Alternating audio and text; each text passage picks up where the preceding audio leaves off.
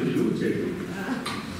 Allora, prima eh, di leggere la testimonianza che ho scritto, volevo ringraziare pubblicamente Gesù perché mi ha guarito.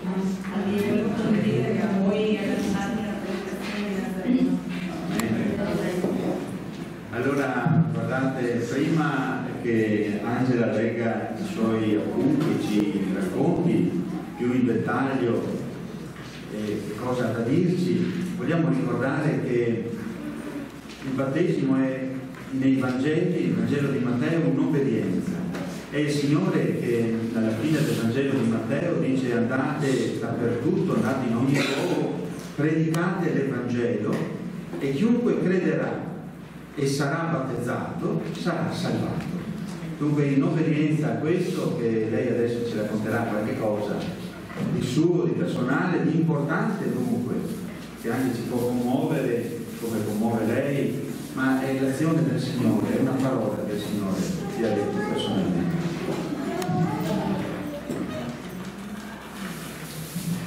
Il 16 aprile 2017 il Signore, nella sua immensa grazia, mi ha chiamato a sé.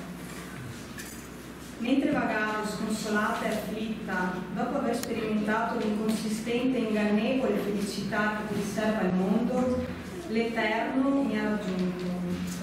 Nel piazzale esterno di un supermercato ebbi il coraggio di rivelare la mia sofferenza a un uomo, che all'epoca per me era poco più che uno sconosciuto. Eppure Dio produsse in me il volere e l'agire necessari affinché si adempisse il suo progetto.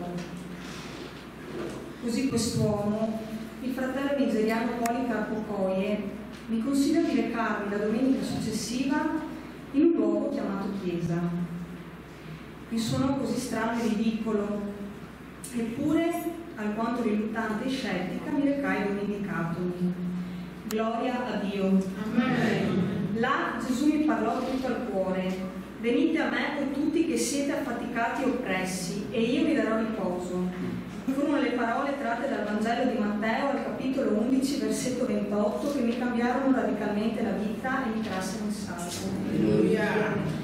In quel momento, in un pianto liberatorio, scoprì per la, volta, per la prima volta che esiste qualcuno in grado di portare i pesi al posto nostro e che si occupa con amore di me, sostenendomi nel continuo.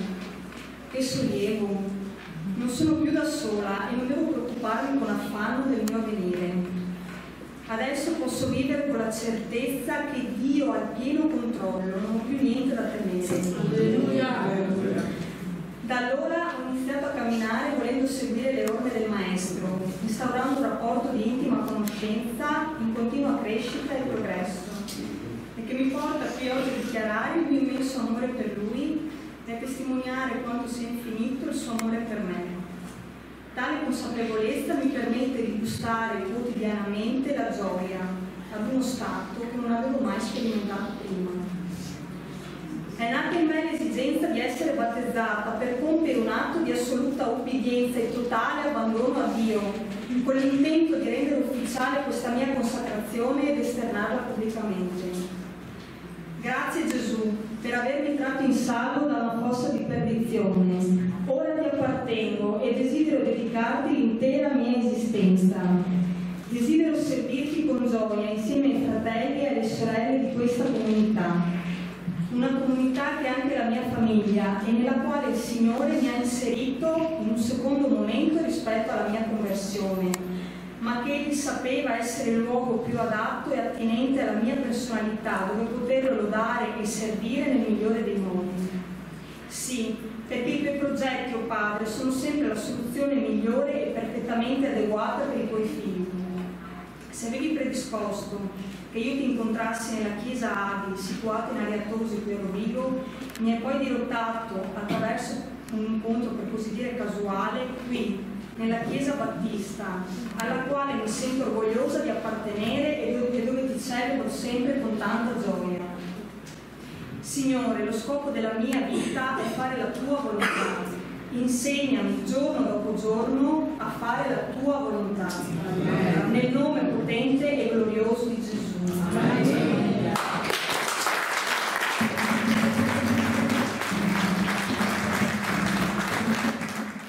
Allora, insieme, tutti insieme, ci apprezziamo al battesimo di Angelo.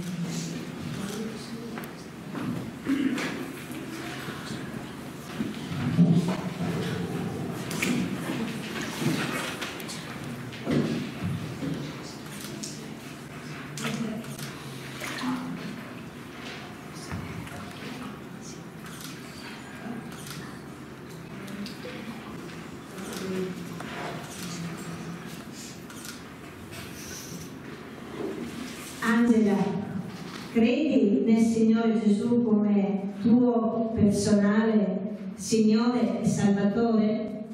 Sì, io credo. Amen.